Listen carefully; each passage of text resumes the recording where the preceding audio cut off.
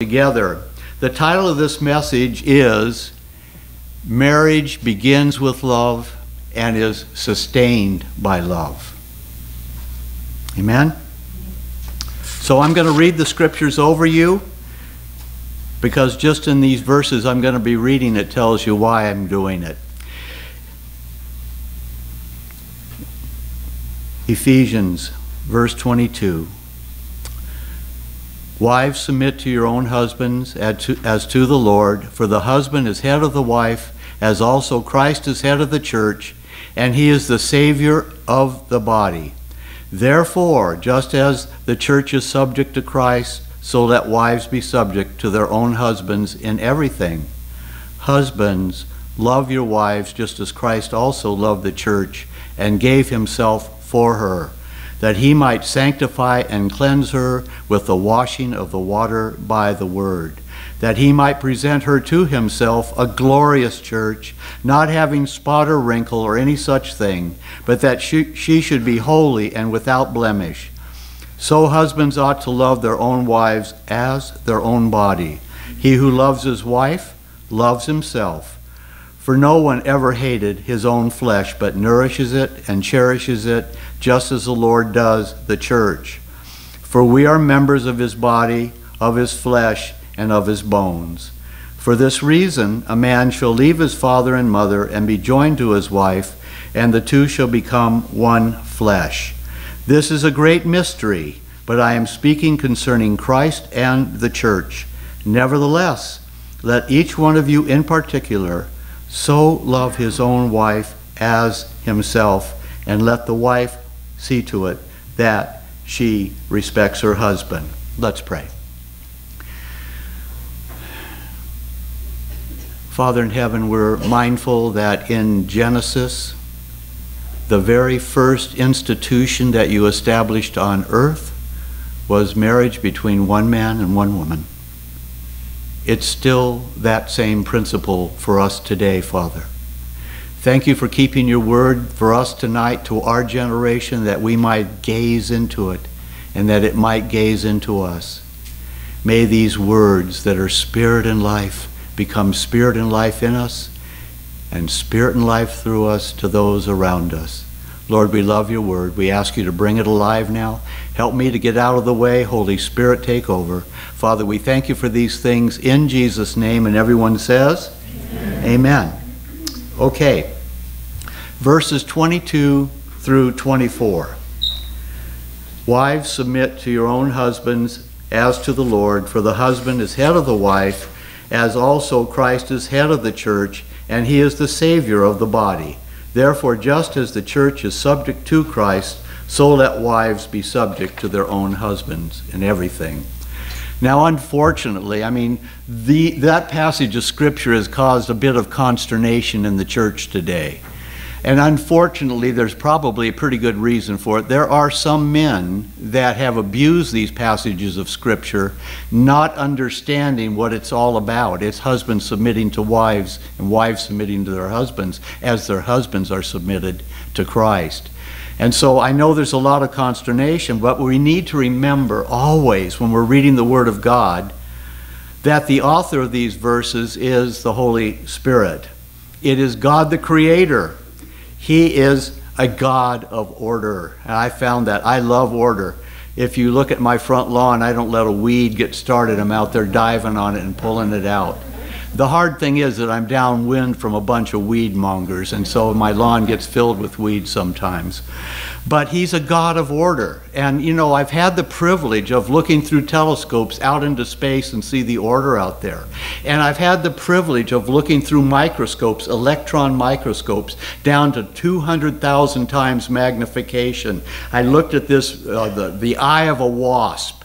And at the different levels, every place you look, there was order, no chaos. Each level was ordered down to where we couldn't see it anymore. Because He's a God of order, everything is ordered, even the order for our marriage relationships. So, um, He has boundless and endless wisdom, and I think we ought to trust Him with that wisdom. My whole idea about marriage is that God didn't make a boat that wouldn't float. He meant it not to sink. And so he has given us principles to live by if we will just live by them and understand that his whole intention for us is good, nothing be good, and only good all the time. so look at Paul is not a chauvinist male when he tells us these things. He is speaking from the mouth of the Lord. He penned these words under the inspiration of the Holy Spirit. He never intended for men to put their wives under their thumb or under their hand and hold them down and keep them from being that all that God created them to be. So a good. Look at I was in the Navy, and I'm glad that the guys that built the boat built it to float. As I went through two typhoons while I was in there in the Gulf of Tonkin off of Vietnam, and I'll never forget it as long as I live. The waves were probably 20, 30, 40 feet high.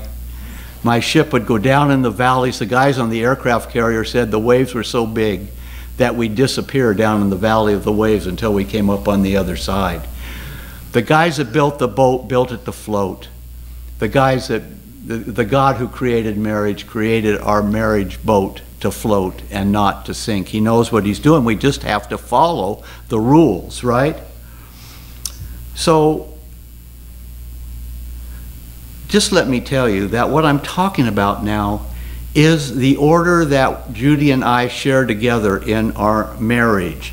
I don't have to say something to Judy like, you need to submit to my headship. She knows I'm submitted to Christ, and she knows that I love her, and she knows that I would never, on purpose, for any reason, do anything that hurt her in any way. So she has no problem in submitting to my leadership in the home. Look, we talk about every decision that needs to be made. We give input, we listen, we talk, we listen, we talk. But in the end, the decision is mine to make, and however it turns out, it's mine to bear. That's the way God ordered things. So, um, look, and I got to tell you though, in that, most of the time, the decisions came out good. But there were times when my decisions didn't come out so good. But my wonderful wife, Judy, never ever made me to feel like she felt like God gave her a bad husband or a foolish husband. She always encouraged me and respected me and was kind to me. Look at, she never made me feel like a failure as a husband. Now, although I do admit to all of you that I felt like a failure in those times when I made a poor decision. I felt like a failure, and I felt like she got cheated to have me as a husband. But okay, enough said about those verses. Are we all clicking on, on eight cylinders now tonight? Okay, that, that's the, uh, the engine of love we're talking about here. So verses 26 through 20, 25 through 27 says this Husbands, love your wives just as Christ also loved the church and gave himself for her, that he might sanctify and cleanse her with the washing of the water by the word, that he might present her to himself a glorious church, not having spot or wrinkle or any such thing, but that she should be holy and without blemish. Now look as a man, and as a man of God, I believe I can call myself that these days. I've got to confess to you, those that requirement from God is one huge requirement to be put on a man. And I confess to you that in and of myself, it's impossible for me to do that for my wife. I can't do it. I need to be filled with God's Word. I need to be filled with the Holy Spirit and I need to let the Holy Spirit lead me in these things. But in and of myself, it would be extremely hard for me to live up to the requirements of those verses. But thanks be to God. Thanks be to God. I have the Holy Spirit and I have the Word of God abiding me. And I've got such a love for Judy that comes from my God through me to her that it's easy for me to do for her but it's only under the inspiration of the Holy Spirit. It's only by the Word of God, and it's only by the love of God in me and through me that I can do it. So I have endeavored, therefore, to keep these requirements, these commands. Really, they're commands. They're not the. They're, Paul isn't making suggestions from God about marriage. They're, these are commands. And so uh, it's not easy to live up to, but I've endeavored to keep them for Judy. And, and here's the way it works for me it's simply a matter of me preferring her over me. It's that easy. It's not complicated. It's not rocket science. It is preferring her over me. And do you know the irony of it is? It's almost that as though Judy and I are having a contest in who can prefer the other most over the other.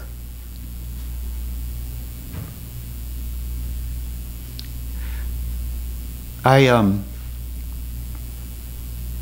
you know, you you have these uh, these ministries within the church that you can take, and God gives them to you, and He gives you opportunity to serve Him. And oftentimes, uh, like at feasts, I've been to feasts where people tried to take the high places and did take the high places. When Jesus said, Take the low place,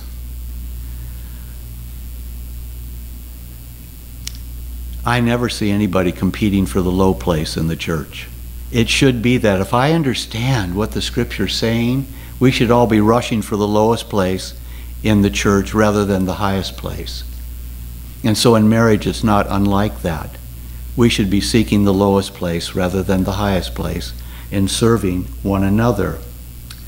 So, if we're supposed to, as husbands, love our wives, as Christ loves the church,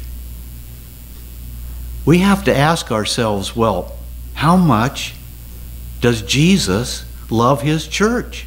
How much did he love his church before the church even ever existed? He went to a cross, died a terrible, horrible, agonizing death, not counting all the stuff that came just before that the beatings, the scourging, the terrible things that were spit upon, blasphemies, everything that he endured, both emotionally and physically. He did that out of love. He did it. So, how much does Jesus love his church? Enough to lay down his life for his church. So, I've learned that means for me to lay down my life for Judy. Now, in the world, somebody might call me a wuss. I don't even know what that means, but it's not, it's not a term of endearment, I assure you.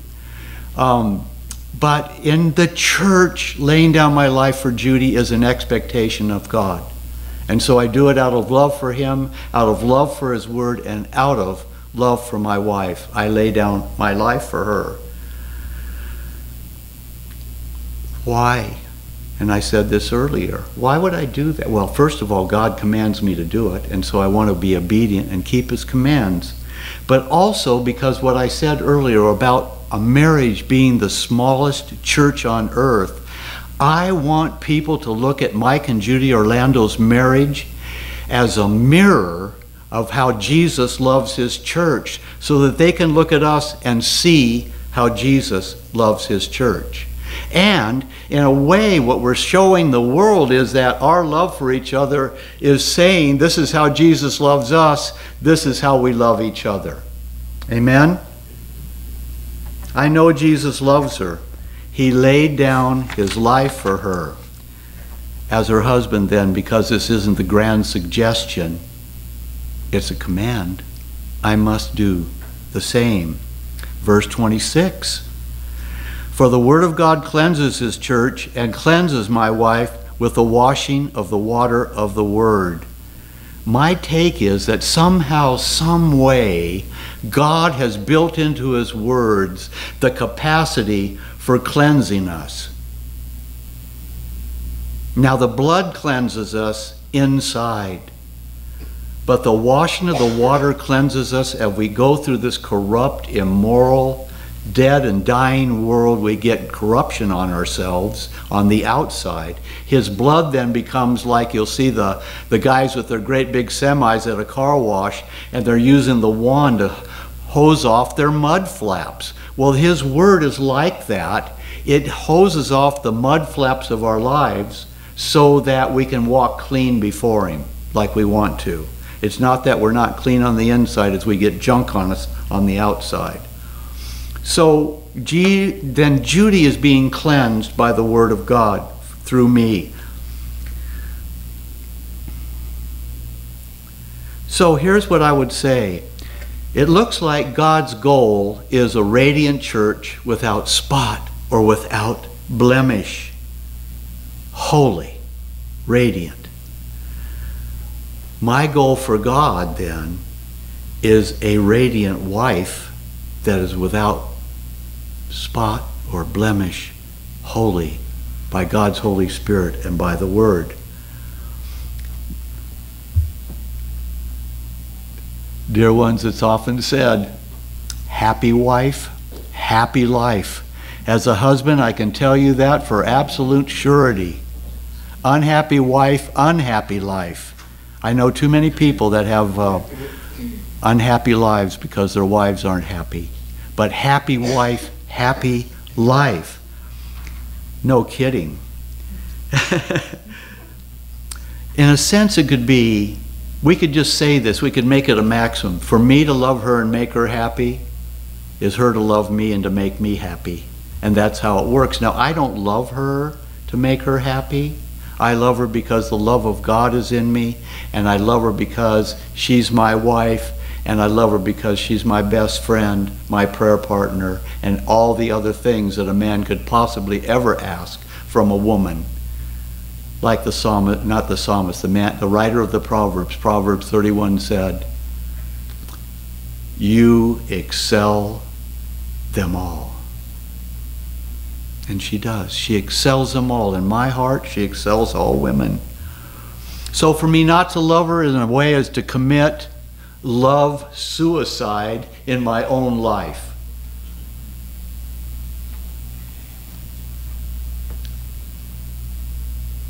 So, in the end, loving my Judy is loving myself. Not to love my Judy is not to love myself. Now, you know, in Genesis it says that uh, for this cause a man will leave his father and mother and be joined to his wife. That word joined means literally to be welded together in such a way that they can't be broken apart. Or I've got two paint sticks here that are glued together with Elmer's glue. You could not pull these sticks apart without them breaking. They will not come apart. And the glue line and the weld line on this piece of metal is a picture of our commitment that we made in marriage to stay together no matter what comes our way, to let nothing, absolutely nothing, get in the way of our marriage relationship. That's what commitment looks like. That's what God wants for us. So I love my Judy, and I'm glued to my Judy, and the only way I'm letting my Judy go is when God calls me home.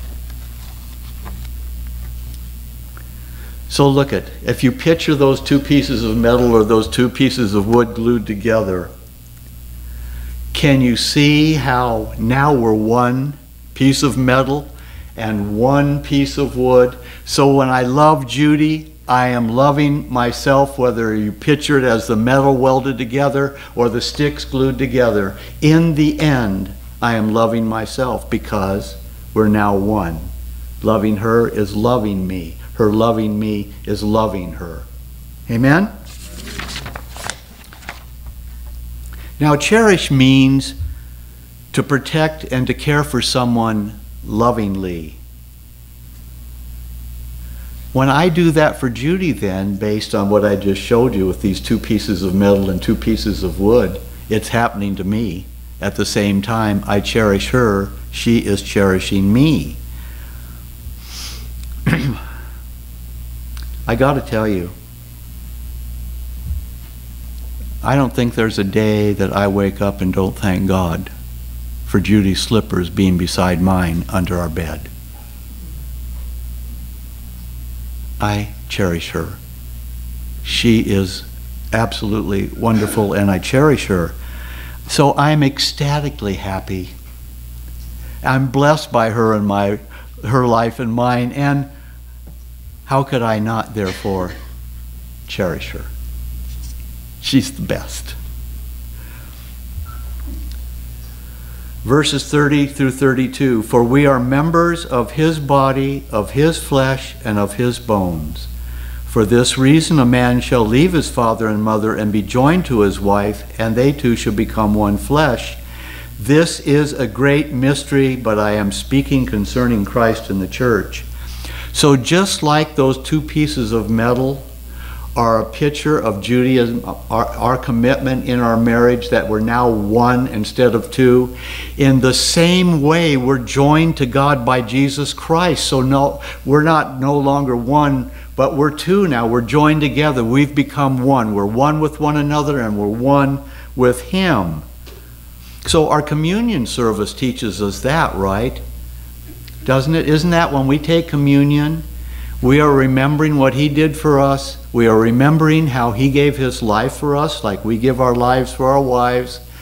We are remembering His love and commitment to us.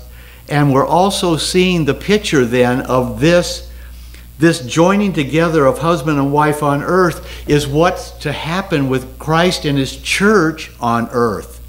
Now we're one with Him. We're one with the Father. We're one with the Holy Spirit. We're one with one another in our marriages and as the body of Christ. That's how it works.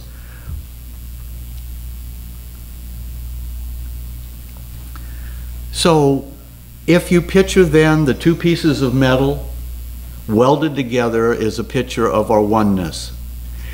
If you also picture us being welded together to Jesus Christ, that's a picture of the church's oneness with Him. Now, there's a wholeness between the man and the woman. There's a wholeness that comes to us from God, and the wholeness is a picture of oneness, and oneness is a picture of wholeness in our relationships. That's what wholeness is it's oneness with God and oneness with each other. So, this is a great mystery then, as the Apostle Paul said. Jesus sees the church as his bride and one with him. Our marriages on earth are to be a visible representation of that same mystery so people can see it, actually visualize it and see it. Verse 33 Nevertheless, let each one of you in particular so love his own wife as himself, and let the wife see that she respects her husbands. Now, for husband. Now, verse 33a is a restating of what he said before about a man loving his wife as himself. But verse 33b, however, adds a specific command to wives. And it says this, and let the wife see that she respect her husband. Dear sisters, married, unmarried, if you don't know this, please consider it now.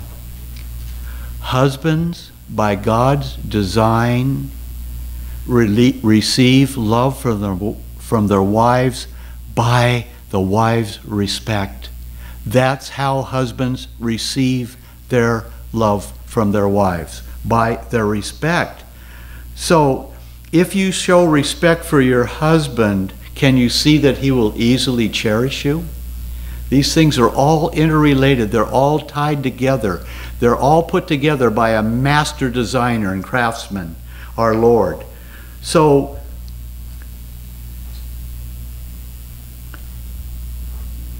Husbands receive love from their wives by their wives' respect for them. And when she does that, he cherishes her. Now, here's something for us to consider because we're going to look at Revelation chapter 2. These verses were written to the church at Ephesus. The church at Ephesus was given this gift, this mystery, this understanding about what love is to look like in our marriages, our relationship to God, the love that we have for Him, and the relationship in our marriages. So, they were entrusted with that, and from them, then that letter went out to the other churches of the seven churches that were part of that region there. It went around like a circular thing. But they were entrusted with that. So, um, but something, look at, they started out so in love with Jesus, and then somewhere along the way, something happened. Something happened, and we'll see that when we look at Revelation chapter 2, we're going to look at verses 1 through 7. Now, in just, look, at, here's the thing that we've got to learn from this. In just 20 to 25 years, they went with, from being the church that was entrusted with this secret, this mystery about love, to being a church that fell out of love with Jesus. And we're going to see that in a few minutes here as we read these verses. So I, it, to me, it's like a warning. It looks like if it could happen to this church at Ephesus and they were given this thing, it can happen in our marriages, and that's what we want to consider. I take these scriptures, I apply them to my life. So, Revelation chapter 2, verses 1 through 7. Again, I will read them over us for the washing of the water of the word as we heard in Ephesians chapter 5. To the, change, the angel of the church of Ephesus, these things says he who holds the seven stars in his right hand, who walks in the midst of the seven golden lampstands. Listen to this.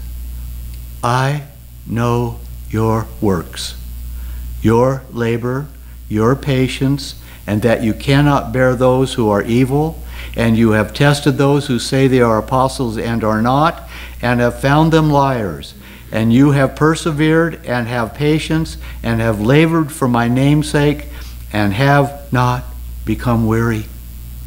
Nevertheless, I have this against you. You have left your first love. Remember, therefore, from where you have fallen, repent and do the first works, or else I will come to you quickly and remove your lampstand from its place unless you repent. But this you have, that you hate the deeds of the Nicolaitans, which I also hate. So, verse 1 then is clearly a picture of the Lord Jesus Christ. His dictation is to John the Apostle, and John the Apostle is to give it to the angel of the church of Ephesus, which I believe is probably the pastor of the church at Ephesus. Verse 1 continued these things says he who holds the seven stars in his right hand, who walks in the midst of the seven golden lampstands. This shows us that Jesus is in charge of and that he is also actively present in his churches. When we come here, he's not out there somewhere. He's here. He's right here, walking in our midst every time we meet. So, clearly then he knows what's going on at all times. I can tell you this in my own life, just in my own life, he knows what I'm thinking. He knows what I'm desiring. He knows what I'm wanting. He knows what I'm watching. He knows what I'm listening to. He knows what I'm touching. He knows it. He knows me inside and out. He knows his church inside and out. But that should be comforting because all we have to do is do what he teaches us to do, right? We don't have to fret or be anxious or anything like that. We just love Him and, and obey Him. Verses 2 and 3 clearly reveal that. So I said He knows what's going on at all times. I know your works, your labor, your patience, and that you cannot bear those who are evil. And you have tested those who say they are apostles and are not, and have found them liars. And you have persevered and have patience, and have labored for my namesake and have not become weary. Notice he commends them for their work, which is a beautiful thing. That's good to know. He sees what's going on, he sees what's wrong, he sees what's right, and so he's commending them for their works. Now, these are not works for them to earn salvation, they've already got salvation. These are works that demonstrate, at least at one time, their love for him. They hate evil, they are hardworking, their action, their act, they test the actions of leaders by the scriptures, and they just keep, keep on keeping on for his name's sake. But something terrible has happened in this church. that it was given to the oracles of God some 25 years earlier. So we can start walking right. We can walk straight and walk straight, but all of a sudden we lose sight of why we're walking right in the first place. We lose sight of why we serve, why we do the things that we do in the church. And so we can get caught up in doing works for the work's sake rather than being in love with Jesus, that being the whole motivation for why we were working in the first place. So, um, so he doesn't. He commends them for what they did, but now we're going to hear a uh, a reprimand by him. Verse four. Nevertheless, I have this against you that you have left your first love. Here's what happened, and it happens in our marriages the same way. When we start out, we are so in love, we are so on fire. I can remember the times that I couldn't stop thinking about Judy. And as I shared yesterday with the people that came, I mean, in those days, you, you had a landline, and we'd be talking, and we'd talk until we fell asleep, and the beep, beep, beep, beep, beep, beep would wake us up. You know, I mean, just crazy. I'd wake up with dry drool running down my. fell asleep. But we were so in love, that's the way it was. She'd walk into a room, my heart would do somersaults. You know, we were in love. But just like this church, what can happen in a marriage is that we get busy. Look at life comes at us a hundred miles an hour. You start having kids. You've both got jobs. Somebody gets sick all kinds of things happen. You've got to take care of all kinds of daily routines and activities. And so sometimes you can get so busy with the life coming at you at 100 miles an hour that you forget why you even got into the relationship in the first place. Don't have anything to say across the table, a sharing of facts rather than sharing of love. And life just happens that way. So, um, what happened to them then was they started doing the works and they were doing the works great, but they were doing it for the wrong motivation and it hurt their Savior. And it can hurt a marriage relationship the same way. You start doing these things and pretty soon you forget why you were doing them in the first place. You did them because you love.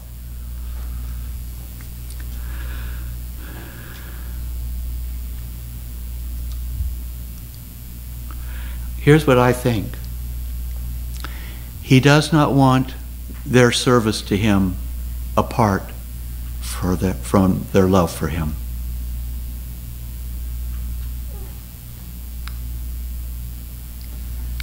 He wants love to be the motivation for everything that they do for Him. That means you got to hang out with each other.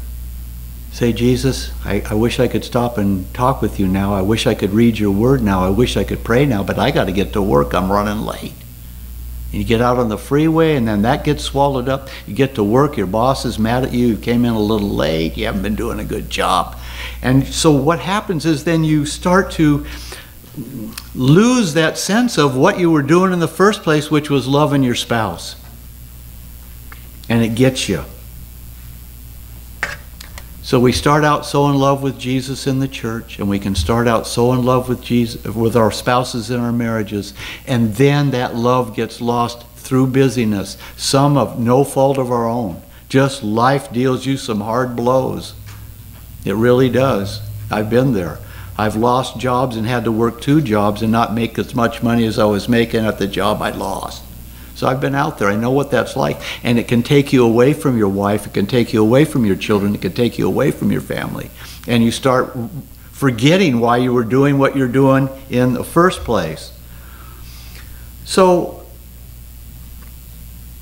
what happened to the Ephesian church then can happen in our marriages. So it's it's like a warning. We have to just be really, really careful and stay on top of. Make sure that we are very, very, very in much with our spouses and why we're that, and, and that's why we do what we do.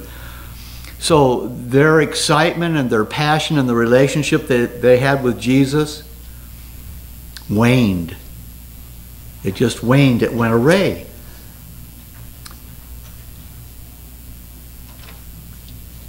God meant for our marriages to be blessed. He meant for love to be the rule of our marriages, just like love is the rule of the relationship between the Father, the Son, and the Holy Spirit. Just like love is his relationship to his church. Now, listen, I could run maybe a 10 flat 100 yard dash when I was in high school, but there were guys that ran 9 forward, and made me look like I was standing still when they went by me. Marriage is not a sprint. I became a long distance runner. I can run like the wind. For miles I could run, and I did real good in cross country. Marriage is a marathon, it's not a sprint. And it's not some instantaneous thing that happens. Marriage is a journey. I have found out that marriage is a journey.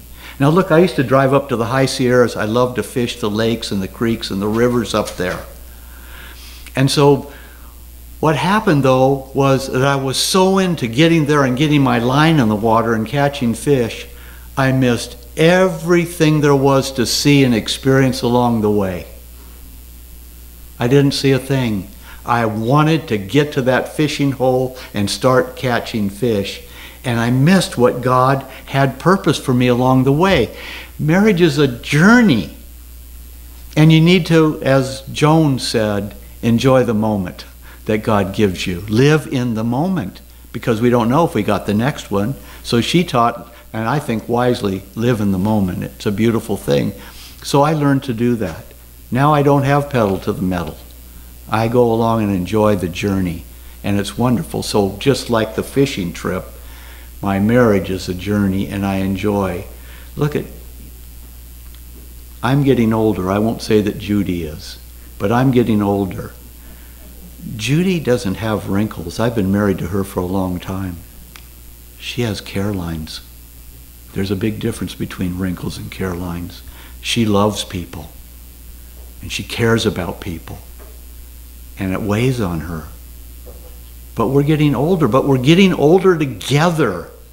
And we accept the changes. And we're enjoying the changes. And so we don't have, you know, uh, brisk walks along the beach. We now stroll along the beach. But we're hand in hand. The wind's blowing in our face, the sun's shining down on us we've learned that marriage is a journey. It's a marathon. It's not a sprint. If you think it's a sprint, you're going to be real disappointed. Because you're going to have to start sprinting again the next time, and the next time, and the next time, rather than just go along on the journey as God has ordained it to be. We just look, in our humanity, we just simply get busy. We just do. We don't even know what happened. We don't even real. It doesn't happen like one day we're so totally in love and involved with each other, and the next day we don't even know who each other is, like ships passing in the dark. It doesn't happen that way. It happens slowly over time. It gnaws away, it erodes away at the love, and pretty soon there's less and less and less and less in the relationship. And so we miss out on what God had intended and planned for us in the first place over busyness. Judy and I came from a church that we were out six nights a week normally and seven nights a week often. And all of a sudden we realized that we didn't have any time energy for our own relationship. We'd look at each other with longing eyes, unable to fulfill what our eyes and our hearts wanted to do because we were so stinking tired worn out from just serving. You know what I mean? And so we lost each other. And so what we had to do was slowly begin to cut back until we had time for each other. Then we could do that much service and ministry in the church. So, yes?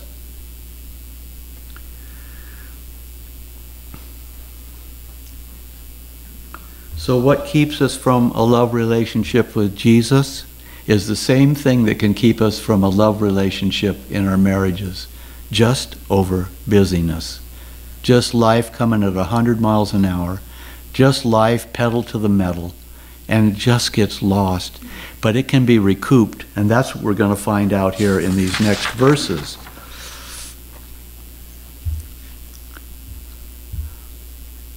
So after his reprimanding, after his reprimanding them, this is what I love about him. Don't you hate a person that tells you you've done something wrong and uh, and don't tell you how to fix it? You just fouled that up. You know, you get an F today, and they don't tell you what you did wrong. But Jesus isn't like that. After reprimanding them, he tells them how to get back in verse 5. How, to, how do I get my love back? He says this Remember, therefore, from where you have fallen, repent and do the first works. To get back to their first love, he tells them and us in our marriages that there are three things they must do. They must remember, repent, and do. Remember what? From where you've fallen. He's saying, Remember how you experienced each other's love when you first were in love. Do you remember those feelings? I can turn my heart back, close my eyes, and remember that experience vividly. I can actually feel it within myself. So he is telling us to turn our hearts, look back, and remember what it was like. How did you feel when you first fell in love? When you were first in love with each other? If you do what he is saying, then I understand probably the way we're engineered by him. If we do that, then by his design, the feelings of love will return to us. And likewise, we'll return to him with those same feelings of love that we started out with. Next, we're told to repent. Now, you know, with regard to the church, certainly Jesus doesn't need to repent of anything. He loves us perfectly, He loves us all the time the same way. But we might need to repent concerning Him, and I have. I've fallen on my face and said, Oh God, forgive me. But in a marriage, what I've discovered after all these years, and Wayne and Vern have been married quite a few more years than I have, but what I've learned is that we have to repent and it's a two way street. It's not usually one person that's failed in keeping the love alive in the marriage. There's two people in a marriage, and that can cause love to fail. So both parties have to repent to say, look at, I'm sorry for the coldness. I'm sorry for the love that's gotten lost. I want to get it back. Do you want to get it back? Yes, I want to get it back. Well, then let's go for it together and get it back. Finally, his instruction to them is, and to us in our marriages, is do what you did at the beginning. What did you do at the beginning? Well, I, that's not hard for me. I wrote notes and put them on her windshield in the morning. I wrote on her mirror, I love you. I uh, left notes and did things, flowers, all kinds of things everywhere. And we dated. I mean, dating is just one of the most blessed things that I've ever experienced. We dated. And so we've had some of the best times dating. We really have. And we've had a lot of laughs dating too. And uh, so Judy and I, what we do to keep our love alive is we have a date night that belongs to us and nobody else. It's for us to refresh our love, to refresh our feelings, to talk about our needs, what's happening, what isn't happening, what would we like to see happening, where would we like to go, and so forth. We have a date night. And the only thing on this earth that can take that from us is a crisis in somebody we love. So that means somebody's in the hospital, they're on their deathbed, or somebody needs this or somebody needs that. Then, of course, we'll give it up and just take it another day. But we have said to each other by our love that this date night we cherish, we hold on to, it's precious to us, and we're not going to let it go in any way, shape, or form. It belongs to us. So, what we have here is not rocket science and the things that we've looked at together tonight in any way. It's not rocket science. Our Creator, the Lord Jesus not Christ, knows exactly how to fix what's wrong in His church with the love of His church. He knows exactly how to fix what's wrong with the love in our marriages. If we'll let him do it, we just have to follow his rules and guidelines. So I would just close with this. Marriage God's way is wonderful. And the things that I've shared here tonight aren't just about marriage. It's not just about Jesus loving the church and the church loving Jesus. It's about the church loving each other. And you guys are doing a great, great job at it. But we want to stay at it. We want to stay in love and not let anything come between it. Marriage God's way is wonderful. He says, remember, repent, and do the first works. Amen? Amen. Let's pray.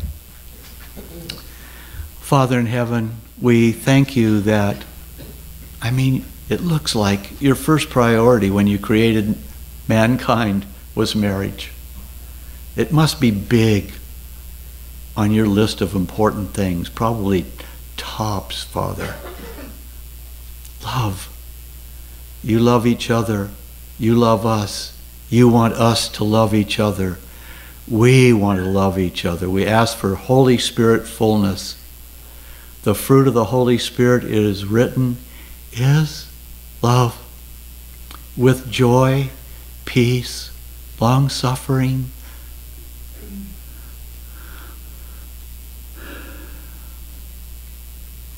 Kindness, goodness, faithfulness, gentleness, self control. We want that, Father, in our relationship with you, and our relationship with each other, and our relationship in our marriages. Please fill us with your Holy Spirit, Father. We pray in Jesus' name. Amen. And everyone says, Amen. Amen.